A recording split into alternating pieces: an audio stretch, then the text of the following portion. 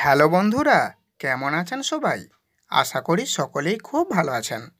আজ আমি জানাব মাত্র দুই থেকে তিন দিনের মধ্যে অতিরিক্ত বড় হয়ে ঝুলে যাওয়া স্তন দুটিকে নিজের মনের মতন অল্প বয়সীদের মতন ছোট ছোট সাইজ করে নেবার জন্য খুবই কার্যকরী ঘরোয়া একটি উপায়।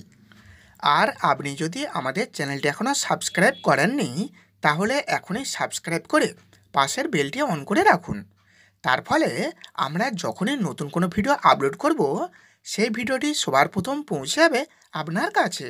এর জন্য যা দরকার তা হলো একটি বাঁধাকপি, যা শীতকালে সবজি হিসেবে রান্না হয়। প্রথমে একটি বাঁধাকপি নেবেন, তারপর তার মাঝ বরাবর কেটে নিয়ে মোটামুটি একটু ভিতর থেকে দুটি নরম দেখে পাতা বের করে নেবেন। এরপর আপনার পোশাকের ভিতর ঢুকিয়ে রেখে শুয়ে পড়বেন। অর্থাৎ এই কপির পাতা দুটিকে এমনভাবে সেট করবেন যেন ওই দুটি জিনিস পুরোপুরিভাবেই কভার হয়ে যায়, অর্থাৎ ঢাকা পড়ে যায়। এইভাবে পাতা দুটিকে রেখে দিয়ে কুড়ি থেকে তিরিশ মিনিট শুয়ে থাকুন। তারপর পাতাগুলি পোশাকের ভিতর থেকে বের করে বাইরে ফেলে দিন।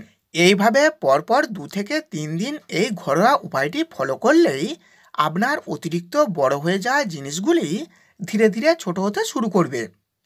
এবং আপনাকে দেখতেও অনেক বেশি আকর্ষণীয় লাগবে। শুধু তাই নয়, অনেকের আবার বুকের ওই জায়গাতে ব্যথা থাকে।